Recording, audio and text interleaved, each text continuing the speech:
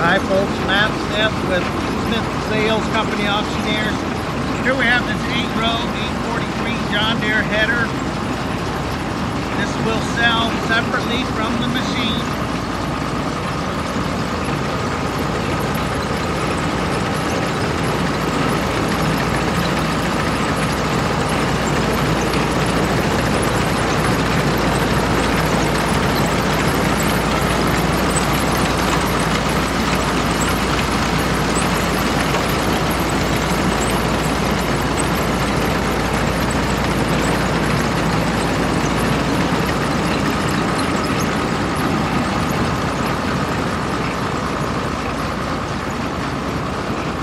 Now this will sell Sunday, May 14th. It is located in Miles City, Montana.